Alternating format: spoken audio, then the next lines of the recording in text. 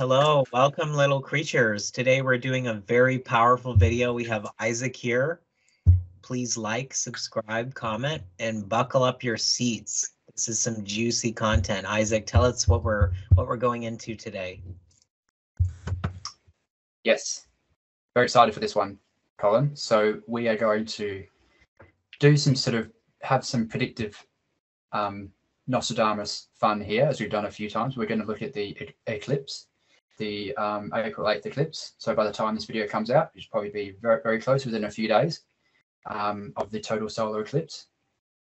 And what we're going to do is sort of play around with with some with some charts to show you how this eclipse might manifest both for America and also for Donald Trump. So we're going to use those two examples um, and show how we can use predictive techniques um, to yeah to get a read on on events based on different birth charts or different natal charts. So the two techniques we're going to use are normal sort of transits, I guess. So mapping the current location of the planets on the zodiac based on a natal chart. So the two natal charts we'll be using will be Donald Trump and also the natal chart of the United States of America, which is 4th of July 1776, obviously, Philadelphia. And the most common time used is 5:10 p.m. Philadelphia time. So we're going to use those two natal charts, and then we're going to do the current transits. We're also going to do what's called uh, progressions. So what's usually called secondary progressions. This is a very interesting. It's something I have only recently started to really dig into. Um, so I'm not going to say I'm an expert, but it's a really fascinating technique, and it's sort of it's um yeah it, it sort of uh shows we seem to be living in some fairly well programmed sort of simulation sort of matrix thing that's going on. So with with progressions essentially the it's based on the theory that the planets from your natal position they move on um, in your chart one degree or sort of one um, one one hour or one minute based on a single day in real time. So what I'm going to do, that, that's it's fairly complicated. So I'm going to bring up uh, Donald Trump's pro uh, progression chart. And the way we're going to understand how progressions work is to look at the sun.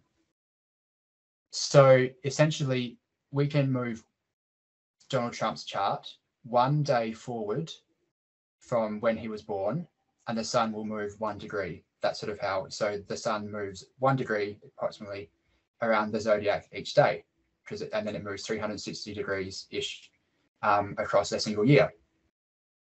Now the way that secondary progressions work is that that day so that natal chart one day on is equal to one year of your life. So the natal chart from one day after donald trump is born signifies his life one year after he was born. So to sort of move that forward, his natal chart 50 days after he was born would be his life 50 years after he was born. So you can see it's sort of this this um, little coding we have going on where one day in real time is equal to one year in that person's life. So what we're going to see in this chart is his sun has moved on one degree per day, and that equals one year of his life. So essentially, uh, 70 years, so um, 70 days, so the natal chart 70 days on will be his chart when he's age 70. And we can, we can start to see the power of this technique using Donald Trump's chart. So Trump has his sun uh, in the 10th house, um, in sidereal Taurus, but tropical Gemini and it's about 70, 70 degrees away from his ascendant. So his, his ascendant is on the cusp of the 12th and the first house, right there. And his sun is sort of up here, 70 degrees away in the 10th house. So 70 years into his life, in his progressions, his sun has gradually moved 70 degrees and crossed over the point of his ascendant when he was 70, 70-ish years old. And so as you can see on, on, on the chart, this is his chart for when he was elected in November of 2016, which again, he was born in 1946.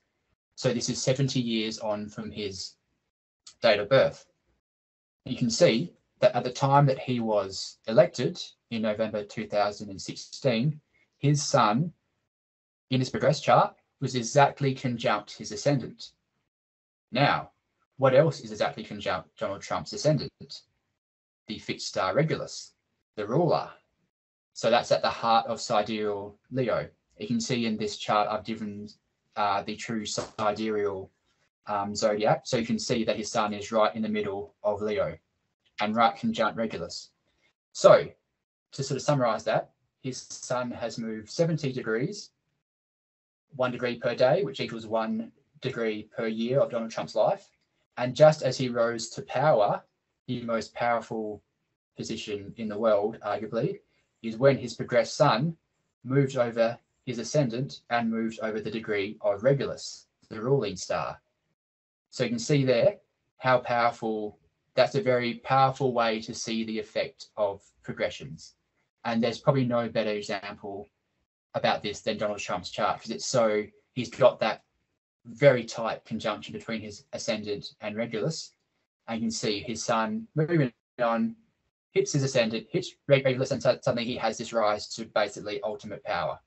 So like a really, a really cool sync you can see there. So that's a really good example about how progressions work. And you'll see um, in, his, in his progressions chart, the moon has moved on even further. So the moon, because it moves more than one degree per day, um, it's gone a lot further in his chart. So with progressions, the moon is so often the main one that we look at because it's moved faster. And you'll see in his chart that the outer planets haven't moved at all progressions because they move very slowly. And the inner planets, so like Venus, Mars, they've moved approximately um, between the sun and the moon. So that they're either moving a bit faster or, or a bit slower than the sun. And so they're moving as well, but they've only moved, you know, roughly between 50 and 100 degrees. So that's a really, so that's our example of, of progressions. Hopefully you're still hanging in there.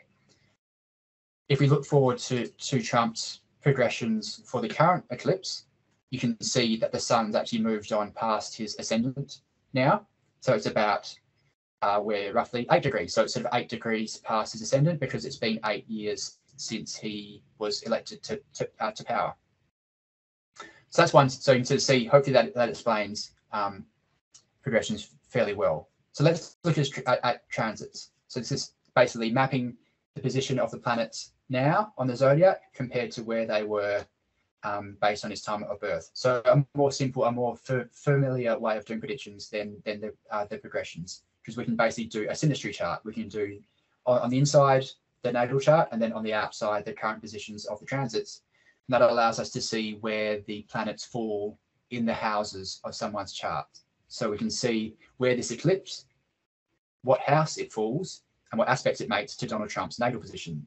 And if we look at his transits for this eclipse, we can see the eclipse lies in his eighth house, which is not that great eighth house is where we experience a lot of the difficult parts of life. We might call it sort of the dark night of the soul, even.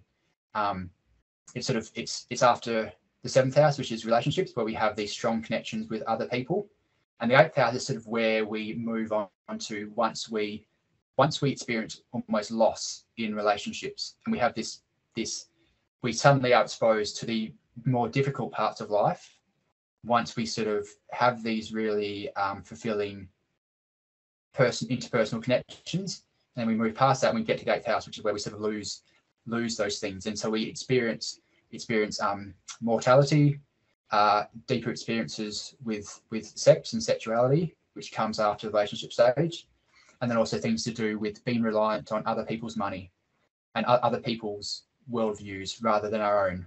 So, second house which is the polarity, eighth house, second house.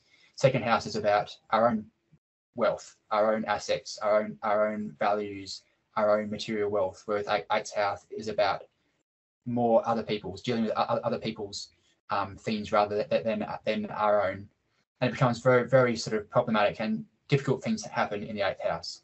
So this eclipse will be occurring in Donald Trump's eighth house. So we might imagine it, there's going to be difficulties arise um, for him during this eclipse. What's really interesting is that, so this is a, this eclipse will be essentially a Chiron themed eclipse because Chiron will be conjunct to within a degree, basically to within a couple of minutes of the sun as it's been eclipsed by the moon. So this is a Chiron themed eclipse, really. If we look at this eclipse, it occurs almost exactly opposite Trump's natal Chiron placement, which is in the second house.